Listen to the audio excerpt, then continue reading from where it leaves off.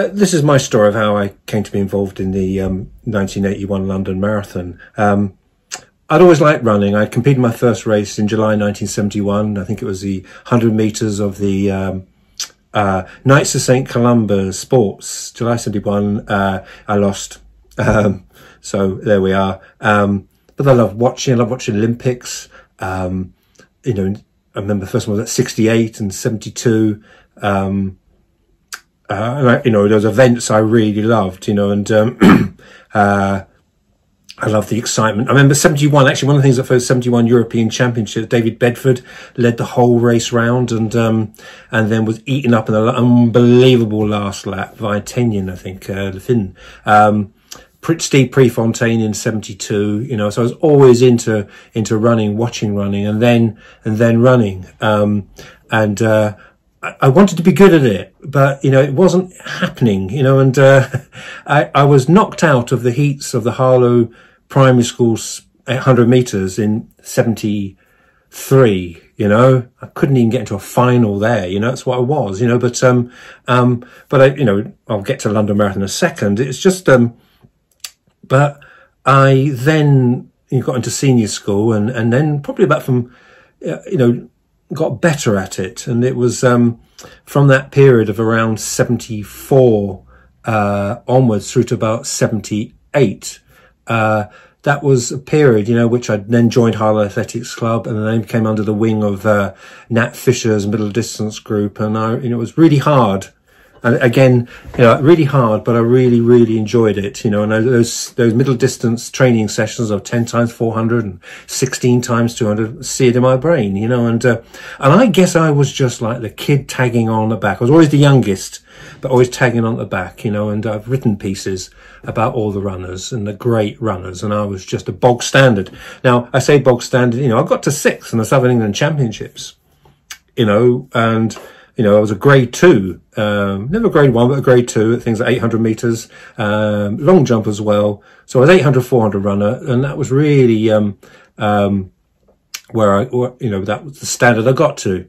So I peaked about 76, 77. Um, but I found it hard. I always found it hard. And I think, uh, I took 78 off because I wanted to concentrate on my O levels because I wasn't, you know, I was always a, no natural talent, struggling, etc., etc. And so, in many ways, that standard, that grade two standard, as I call it, which for myself I'm very proud of, you know, running, as I said, you know, uh, 800 meters, um, but so I probably never got to that. I didn't get to that standard again. Took 70 out to do my O levels and then it was the A levels really because, you know, I wanted to get to university. I'm not sure why, but I wanted to get there because I just thought it was something to achieve. Um, but that again, so I went from the kid who was struggling at the back of the, the middle distance group to the kid in the A level group, you know, with a very, very brilliant other students uh, doing A level seem to know Paradise Lost and Chaucer and Shakespeare, and I'm struggling at the back. So that's that. Um, so consequently, you know, I made a dog's breakfast, i.e. failed A levels. And, um, so August 1980, um, was a disaster for me. And so, you know, taking stock, I remember going back home, taking stock of my life and thinking and speaking to, um, uh, teachers at St. Mark's School and say, like, I, I want to resit. I'm not giving up. So that was September 1980. I'm not giving up here. You know, uh, I don't know if I have any choice or it's just my instinct, whatever. Um, and so, and then I sort of think about the London Marathon. Now, the furthest I'd re- run on the track was 3,000 meters, once very badly and got lapped. Um, and then cross country. Uh, so that's, that's where that was framed. So the idea of, right, oh, really, realistically, we're going to run 25 and a half miles outside my comfort zone.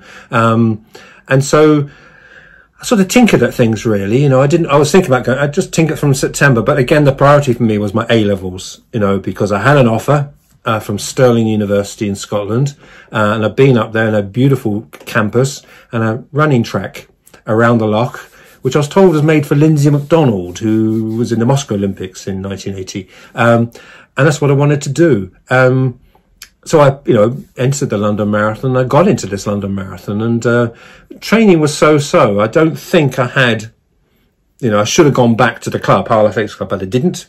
Um, and then uh, I, um, uh, pottered about at my training um, because again it was the A levels. Um, and I guess the pivotal moment, I would, I'd do an eight mile here, a 12 mile there, a six, you know, etc. But, um, I knew I ran out of gas really quickly. That was the thing for me. Anyway, um, March, uh, the key thing was my A-level English. And on March the 3rd, I got it. I got it. Um, I reset it, got it. It was brilliant. And down to a teacher called Mrs. Pierres, Julie Pierres. And, um, you know, I was got, you know, got my A. I thought I'd mention that. Got up, going off to uh, university. So I was so relaxed. I was relieved and brilliant. Um, just see that uh, uh, horse running London Marathon. That wasn't me, uh, but um, brilliant.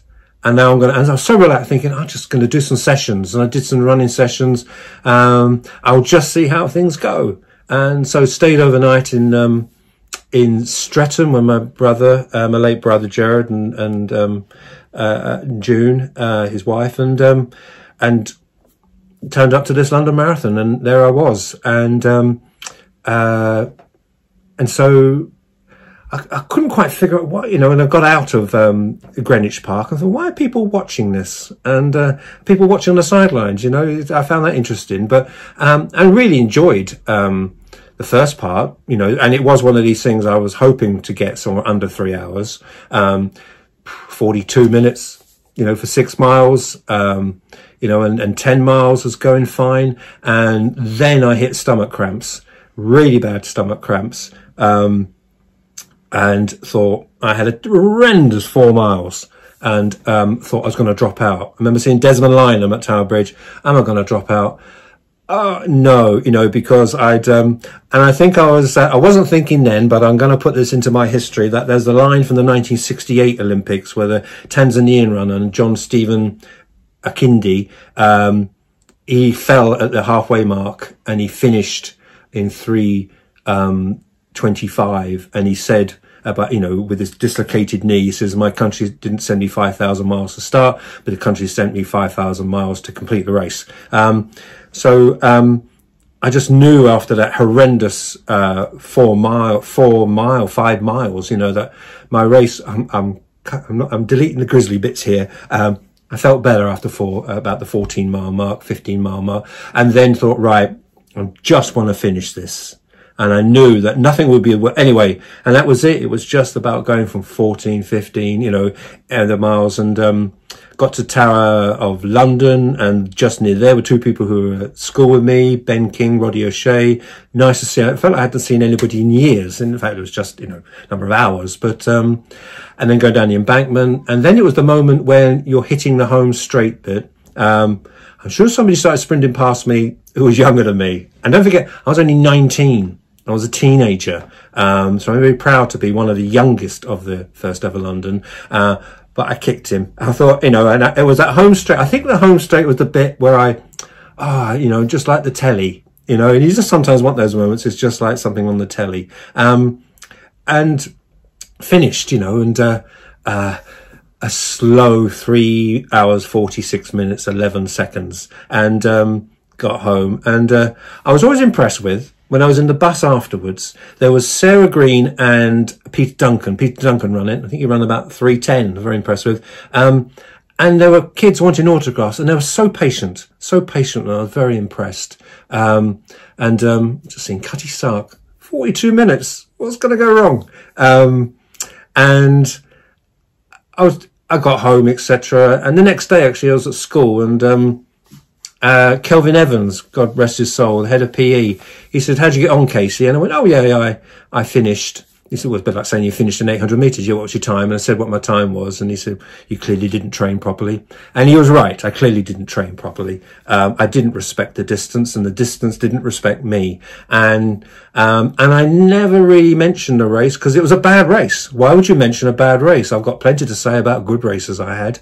Um, but, um, and that was it until I guess the last couple of years, really. You know, people sort of as time marches on, and um, uh, and my running after that, I did two marathons in '82, and then figured out this really is um, 25 and a half miles. And um, uh, although I did come second in the under 20s in Horsforth near Leeds, um, and uh, after that, every year I I jogged, I guess it would be. So from 1983, I'd always run. I love the hills of Scotland, and Stirling and Edinburgh, um, and wherever I've been around the world, I've um, run.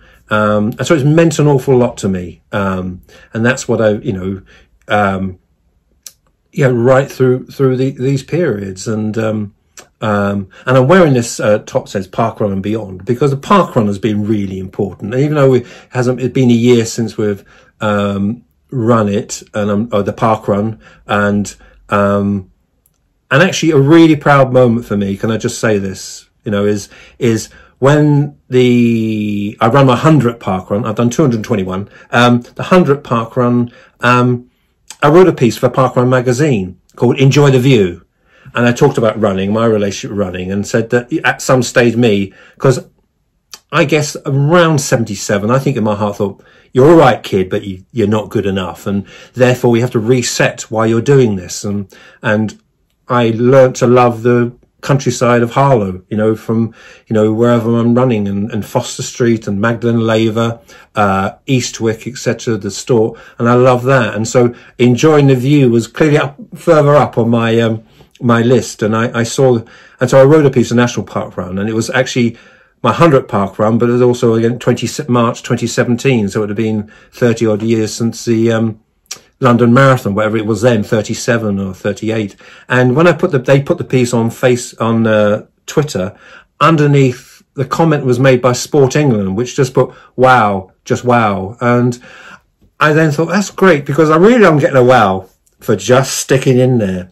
And I think the, the A-level story was just sticking in there. And, um, London Marathon was just about me sticking in there. And, and sometimes here I am in 2021. I'm a journalist. I run, um, um, to online newspapers. And I guess, uh, I don't think I'm going to win any Pulitzer prizes, but sometimes people say, you know, um, praise me for my doggedness, you know, which I don't think is pra- you know, damning with faint praise. I, am sort of quite proud of that. So, um, so that's, you know, my, that's him. That's him being dogged. Um, I'm not with the leaders. Um, but to everybody, you know, I'm delighted, I'm not delighted to be in lockdown, but throughout the whole year, seeing so many people out running and, um, and I hope uh, it, it, continues in any shape or form. And it is about enjoying the view, enjoying your running, um, whether you want to burst your lungs uh, or just jog. And I think that's what. Um, and um, the people I've interviewed, you know, there's seven of us. It's been great for me to interview them and me to do the final piece here. And I think, um, um, and, and I think we're all very proud of uh, having run in the first ever London Marathon. And um, we, uh, you know, and I uh, I hope to do one more. I'm, I'm hoping to do next year's. Uh, I'll be 60 then. And so from the teenage kid to being 60, I think would be, uh, would be, um, would be pretty cool. And, uh, but still enjoy running. I'm very proud of it and enjoy the view. Thank you.